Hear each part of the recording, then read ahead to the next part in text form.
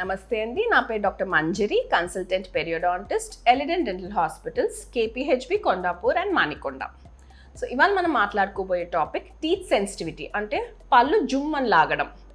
ఏదైనా స్టిమ్యులస్ ఉంటే కొంతమందికి పళ్ళు జుమ్మని లాగుతుంది. వన్ ఇన్ సెవెన్ పీపుల్కి ఈ సిమ్టమ్ ఉంటుంది. అంత కామన్గా ఇది ఎఫెక్ట్ అవుతూ ఉంటుంది. సో ఆ స్టిమ్యులస్ వచ్చినప్పుడు ఆ ఒక్క క్షణం జుమ్మని లాగి మళ్ళీ ఆ స్టిమ్యులస్ పోగానే నార్మల్ అయిపోతూ ఉంటుంది. కొన్ని ఎక్కువ సార్లు అయినప్పుడు ఈ స్టిమ్యులస్ అనేది చాలా ఎక్కువ సార్లు వస్తూ ఉంటుంది. చల్ల గాలికి కూడా వస్తుంది. ఐస్ క్రీమ్ తింటే వస్తుంది. లేకపోతే వేడి కాఫీ తింటే వస్తుంది. ఏదన్నా కొన్ని ఫుడ్ ఐటమ్స్ వాటిని స్టిమ్యులేట్ చేస్తూ ఉంటుంది. సో ఈ ఇలాంటి ఈ ప్రాబ్లంతో చాలా ఎక్కువ మంది కామన్గా సఫర్ అవుతూ ఉంటారు. సో ఎందుకు ఈ ప్రాబ్లం వస్తుంది అంటే మన పన్నుకి పై లేయర్ వచ్చి మనం ఎనామిల్ అంటాం. ఈ ఎనామిల్కి వచ్చేసి నరము రక్తము ఏమీ ఉండదు. సో ఇది ఒక మన కింద ఉన్న డెంటీన్ దేనికైతే నరాలు ఉంటాయో దాని కింద ఉన్న పల్ప్ దేంట్లో అయితే బ్లడ్ సప్లై నర్వ్ సప్లై ఉంటుందో వీటిని కాపాడుతూ ఉంటుంది. ఈ ఎనామిల్ ఎప్పుడైతే అరిగిపోతుందో అప్పుడు ఈ డెంటీన్ పల్ప్ ఎక్స్పోజ్ అయిపోయి మీకు ఈ జుమ్ అనే ఫీలింగ్ వస్తుంది. సో ఈ ఎనామిల్ అనేది ఎందుకు అరుగుతుంది?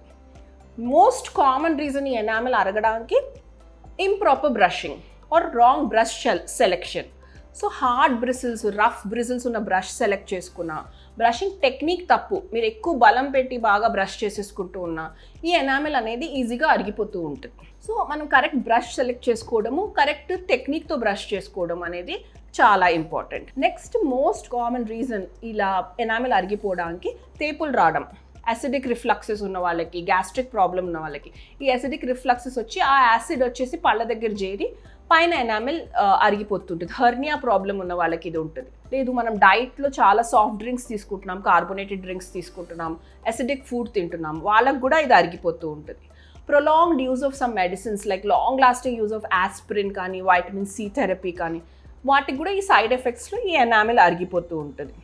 లేదు మనం పళ్ళు కొరుక్కుంటున్నాం. కొంతమంది రాత్రి నిద్రలో తెలియకుండా పళ్ళు కొరుక్కుంటూ ఉంటారు. ఆర్ పై పళ్ళు కింద పళ్ళు వచ్చేసి బాగా ఇంప్రాపర్గా తగిలి కొరుక్కుంటూ ఉంటారు. సో దీన్ని క్లెంచింగ్ ఆర్ నైట్ గ్రైండింగ్ అంటాం. ఈ హ్యాబిట్ ఉన్న వాళ్ళకు కూడా ఎనామిల్ అరిగిపోతూ ఉంటుంది.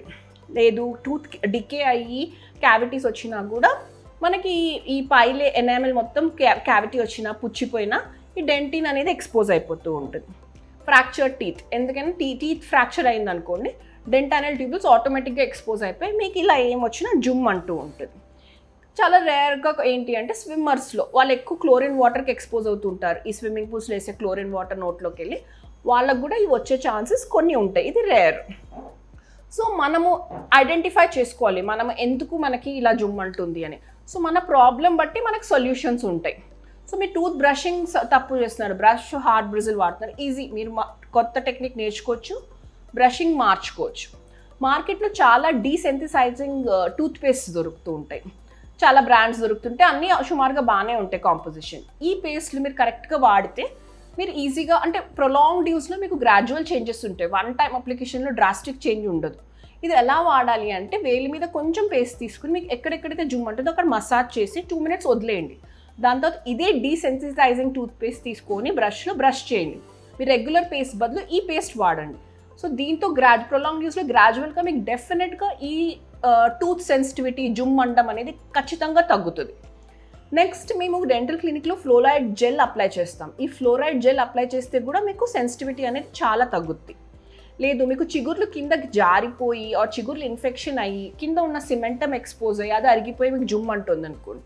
స్కేలింగ్ చేసి ఈ చిగుర్లు ట్రీట్మెంట్ చేసి గ్రాఫ్ట్లు చేసి చిగురుని దాని ప్లేస్లో కరెక్ట్గా రీప్లేస్ చేస్తే కూడా మీకు ఈ టూత్ సెన్సిటివిటీ అనే ప్రాబ్లం ఈజీగా తీసుకోవచ్చు.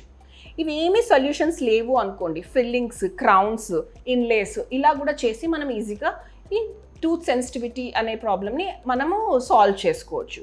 ఇవేమి కానప్పుడు రూట్ కెనాల్ ట్రీట్మెంట్ కూడా మీకు మీ డెంటిస్ట్ సజెస్ట్ చేయొచ్చు. చాలా వరకు అరిగిపోయింది పల్ప్ కూడా ఎక్స్పోజ్ అయింది అంటే రూట్ కెనాల్ ట్రీట్మెంట్ చేసి మనం క్రౌన్స్ పెట్టుకోవచ్చు. డైట్ కూడా మార్చుకోవాలి. మనం చా అసిడిక్ ఫుడ్ అనేది తగ్గించుకొని ఎక్కువ డైరీ ప్రోడక్ట్స్ అలాంటివి ఇంక్లూడ్ చే ఆక్సిలేట్స్ మెయిన్గా డైట్లో ఇంక్లూడ్ చేసుకుంటే ఈ జుమ్ అనే ఫీలింగ్ అనేది గ్రాడ్యువల్గా తగ్గిపోతుంది. సో ఇది కామన్గా ఎక్కువ మంది సఫర్ అయ్యేది కానీ చిన్న ప్రాబ్లమే కదా ఫైవ్ మినిట్స్ కదా జుమ్ అనేది అని ఇగ్నోర్ చేసే ప్రాబ్లం దీనికి చిన్న చిన్న సొల్యూషన్స్తో మనం మనం క్వాలిటీ ఆఫ్ లైఫ్ని బాగా ఇంప్రూవ్ చేసుకోవచ్చు. Thank you